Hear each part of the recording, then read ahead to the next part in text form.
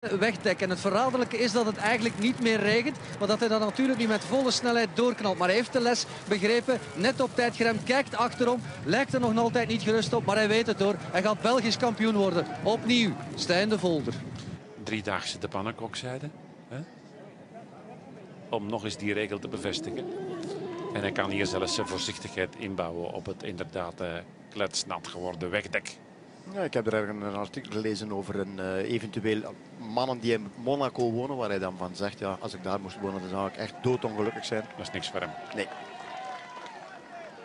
Stijn de Volder werd voor de eerste keer Belgisch kampioen in Ronse in het jaar 2007. Toen kwam hij nog uit voor Discovery. Dat was toen inderdaad ook al de ploeg van Dirk de Mol. Zijn buddy. Veel meer nog dan zijn ploegleider, zijn vaste maat. Zijn uh, psychovriendje. Ja, dat is ook de man die hem eigenlijk van bij de jeugd, van bij uh, Tormoten van Als, bij de jongere team hem eigenlijk gevolgd heeft.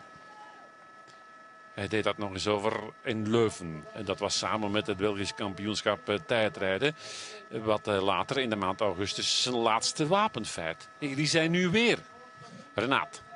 Ja, laatste stukje bergop voor de nieuwe Belgische kampioen Stijn de Volder. En wat mij opgevallen is, de laatste ronde is het open doekje. Het regende hier open doekjes. De hele wielerwereld hier aanwezig uh, gunt het hem. Stijn de Volder, een kampioen voor iedereen, zo lijkt het. Daar gaat hij op het uh, laatste klimmetje. Het zal hem ongetwijfeld veel genoegen geven. En ik kan me inbeelden dat ook uh, Dirk de Mol niet echt gelukkig was met zijn niet-selectie voor de Tour.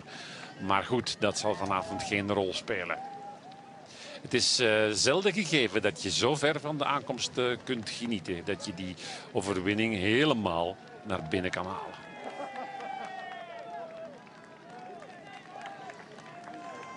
Twee keer de ronde van België. Die dags de pannenkokszijde.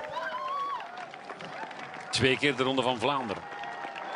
De manier waarop hij toen naar Chavanel zijn ploegmaat reed. En die eigenlijk vrijwel onmiddellijk achterliet toen op de muur van Gerardsbergen. Dat was imponerend. En toen reed hij ook nog een minuut weg. Hij heeft zo van die dagen waarop er niks aan te doen is. Waarop hij zegt van ik ga en ze zullen mij niet meer terugpakken. En een tribute aan Wouter Weiland aan de streep. De Volder is voor de derde keer Belgisch kampioen. En komt daardoor in de eeuwige ranking naast Van Steenbergen. Net na Tom Steels. En nu, de strijd die wij verwachten voor plek 1 gaat nu nog voor plek 2. Het is uh, andermaal Bakelands die daar weggereden is. Meersman daarvoor denk ik. Aha. Hier de omhelzing met de kindjes en met de Tamara. En wij kijken uit naar de laatste bocht. Komen ze er al? Nee, dat zal nog wel een tijdje duren. Want hij had een voorsprong van ruim een minuut. Door het vieren zal hij daar wel wat aan ingeboet hebben. Even kijken of, hij, of de rest er al komt. Hier is inderdaad Meersman. Bakelands en uh, Leukemans die wellicht weet ik moet die bochten pakken voor Bakelands. Want anders ben ik de pineut in het uitkomen van die laatste bocht. Meersman, de gedoodverfde Belgische kampioen. Hij is of moet tevreden zijn met plek 2. En Leukemans gaat hij nog derde worden? Nee, Bakelands zorgt voor een tweede man van de ploeg de Volder op het podium. Dan Leukemans, dan Van Marken, dan Gilbert en Van Avermaat. Is dat symptomatisch voor die ploeg?